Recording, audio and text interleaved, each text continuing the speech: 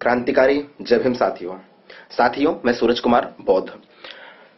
जैसा कि सब जानते हैं कि 124th constitutional amendments bill has been passed in Lok Sabha seeking to provide reservation in educational institution and government jobs to upper caste government कह रही है कि वो वीकर सेक्शन को रिजर्वेशन दे रही है। पर मेरा अपना मानता है सवर्ण इज़ सवर्ण। There is no difference of upper caste lower caste या इकोनॉमिक बेस अपर कास्ट या समथिंग एल्स सबसे पहली बात है कि वो सवर्ण इसलिए हैं क्योंकि वर्ण व्यवस्था में वो उच्च दर दर्जे के माने जाते हैं, उच्च दर्जे के माने जाते हैं। उनको शिक्षा, संपत्ति, स्वास्थ्य, अस्त्र, शस्त्र, मान, सम्मान, स्वाभिमान, सब पर उनका एक छत्र अधिकार रहा है। इसलिए वो सवर्ण कहे जाते हैं।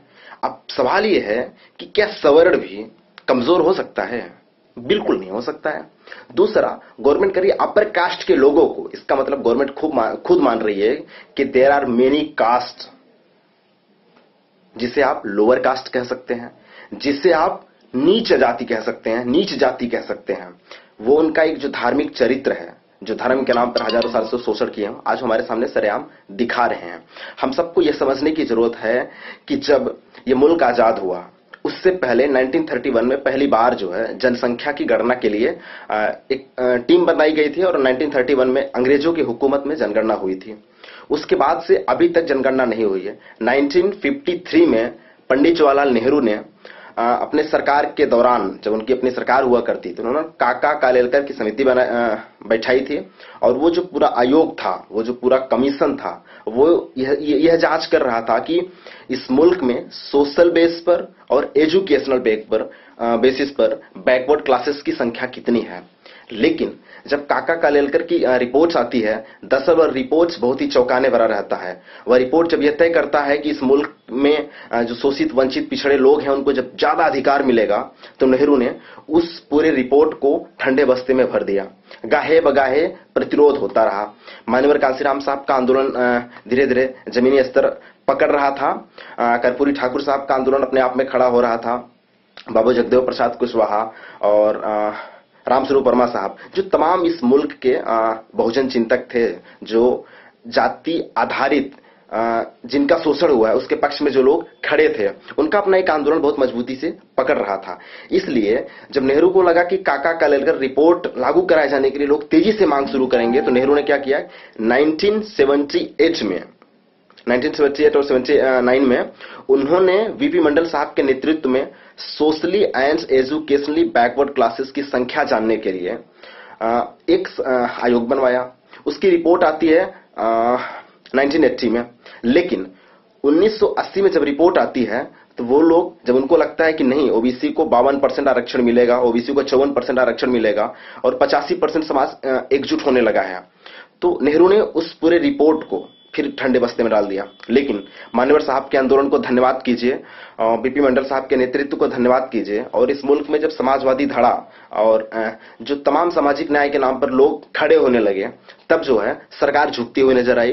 अंतिम में 1990 में वो रिपोर्ट लागू की जाती है। करीब बानवे में हमको ओबीसी को रिजर्वेशन मिलता है जो आ, सुप्रीम कोर्ट ने अपने इंदिरा साहनी के केस में सुप्रीम कोर्ट ने ये जजमेंट सुना दिया कि there shall be fifty percent of ceilings हम कह रहे हैं सुप्रीम कोर्ट ने जब 50 परसेंट का सीलिंग दिया, सुप्रीम कोर्ट ने वही प्रूफ कर दिया कि नहीं बैकवर्डनेस का जो बेस होगा, वो सोशल एंड एजुकेशनल नहीं होगा, बल्कि उसके साथ ही इकोनॉमिक बेस पर होगा। जबकि अपना कॉन्स्टिट्यूशन का आर्टिकल 15 स्पष्ट कहता है कि reservation is given for the advancement of socially and educationally backward classes and to scheduled caste and scheduled tribes मैं कह रहा हूँ, सुप्रीम कोर्ट ने पहली बार जब फिफ्टी परसेंट की सीलिंग लगाई थी, जिन्हें twenty two percent fifty two percent reservation देना चाहिए था ओबीसी को ट्वेंटी सेवन परसेंट ओबीसी को रिजर्वेशन मिलता। है सुप्रीम कोर्ट ने पहली बार वहीं से संविधान के साथ छेड़छाड़ शुरू कर दिया था।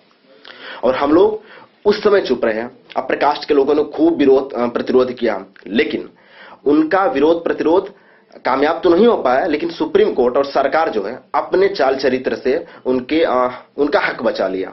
उनका हक बचा लिया मतलब हमारे हक को खाने का उनका पूरा इजाज़त दे दिया। लेकिन आज वह आंदोलन फिर जमीनी धरातल पर पकड़ता चला रहा है जब सवर्ण लोग फिर हमारा हक छीनना चाह रहे हैं। आप याद करेंगे 1990 के दौर में और नरसिम्हा राव साहब के सरकार के दौर पर ही गरीब सवर्णों को आरक्षण दिया जिसकी डिमांड शुरू हो चुकी थी। लेकिन वो डिमांड बहुत मज़बूत नहीं पकड़ पाई थी। This time constitution is being derailed at the feet of brahmanism. This time democracy is being derailed. At the feet of uh, manuwati forces. And so we the people of india we the bahujan community सवाल ही नहीं कर रहे हैं। कोई विरोध प्रदर्शन ही नहीं हो रहा है। क्यों होगा? हमारे समाज के जो आका हैं वो समर्थन करके बैठे हैं नरेंद्र मोदी को। काहे समर्थन किए हैं? संविधान नहीं पढ़े हैं क्या? और अगर संविधान पढ़े हैं तो दलाली करने की आदत पड़ गई है क्या? मतलब अगर अगर आप भारतीय संविधान पढ़ेंगे आर्टिकल 15 स्पष्ट करता है कि there shall be no discrimination on the basis of religion race caste sex place of birth या समथिंग एल्स फिर भी गसब का पैमाना किया जा रहा है। अगर आप आर्टिकल 330 टू 342 पढ़ेंगे, वो स्पष्ट करता है अपना कॉन्स्टिट्यूशन जो है। Constitution allows only four classes scheduled caste scheduled tribes backward classes and Anglo Indians ये चौथा क्लासेस के बाद पांचवा क्लासेस कौन सा आ रहा है भैया? कुल मिलाकर के, आपका संविधान खतरे में है। कुल मिलाकर के, यह आरक्षण केवल छोटा सा सवाल नहीं है, ये बहुत बड़ा सवाल है। आपको थैंक्स कहना चाहिए। बाम सेफ़ के राष्ट्रीय अध्यक्ष, माननीय मावन मेसराम साहब को, भारतीय मूल निवासी संगठन के राष्ट्रीय अध्यक्ष, इंजीनियर डी प्रकाश गौतम साहब को भाई जिग्नेश मेवानी को मेडिकलाइट पार्टी ऑफ़ इंडिया के विजय मानकर साहब को, तेजस्वी भाई को, और सबसे ज़्यादा अगर किसी को थैंक्स देना चाहिए तो असुद्दीन अवैसी साहब को थैंक्स देना चाहिए। मोहम्मद बशीर साहब को थैंक देना चाहिए। और पीके कुंजली कुट्टी साहब को थैंक देना चाहिए, जिन्होंने मात्र तीन ऐसे लोग हैं, जिन्होंने संसद में इस एंटी बहुजन बिल का विरोध किया। ओवैसी साहब को धन्यवाद इसलिए देना बनता है कि ओवैसी साहब ने स्पष्ट कहा this bill is fraud on constitution of India it is an insult to doctor Bhimrao Ambedkar ये बाबा साहब का अपमान है। वह लोग जो इस एंटी बहुजन बिल का समर्थन कर रहे हैं, जो लोग 124th कॉन्स्टिट्यूशनल अमेंडमेंट्स बिल का समर्थन कर रहे हैं actually they are all rascals वो लोग हमारे जमीर के साथ धोखा दे रहे हैं। हमको लीडर चाहिए रीडर नहीं। ये बात बाबा साहब अंबेडकर से हमको सीखने की ज़रूरत है। और बहुजन समाज के नेताओं को यह समझ ले जाने की ज़रूरत है कि जो मिशन है ना किसी के बाप की बपौती नहीं होती है। बहुजन समाज के लोग रोहित मेमुला की शहादत के बाद ये सिद्ध किए थे कि I need no leader I am leader myself Bahujan Samaj के लोग दो अप्रैल भारत बंद में सिद्ध किए थे कि I need no leader I am leader myself I can close whole India और जब हम भारत बंद कर सकते हैं। तो साहब, ठेकेदारी करना बंद करिए मिशन का, हम भारत चला भी सकते हैं।